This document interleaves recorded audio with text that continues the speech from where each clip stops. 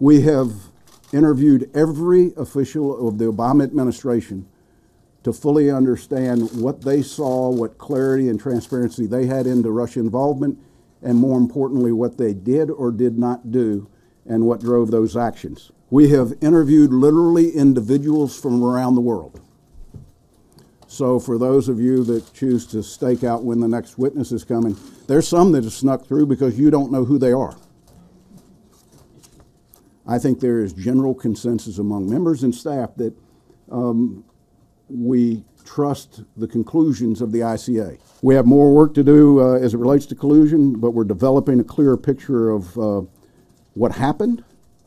Uh, what I will confirm is that the Russian intelligence service is determined, clever, and I recommend that every campaign and every election official take this very seriously as we move into this November's election and as we move into preparation for the 2018 election. Let me go back and, and say, because I thought I was pretty clear, that the issue of collusion is still open, that we continue to investigate both intelligence and witnesses, and uh, that we're not in a position where we will come to any type of temporary finding on that until we've completed the process. I think there is a large consensus that they hacked into political files, released those files in an effort to influence the election. We think they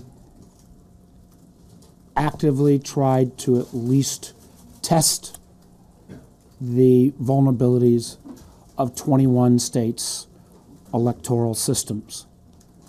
And we feel that they used the social media firms both in terms of paid advertising and what I believe is more problematic, but created false accounts and others that would drive interest towards stories or groups. And generally, those stories or groups were to sow chaos and drive division in our country. And I think that the pattern that they used in America, they have used in other nations around the world. And uh, I, I fear sometimes if you add up all they've spent, that was a decent rate of return for them, unfortunately. l- l- Let me add to it if I can.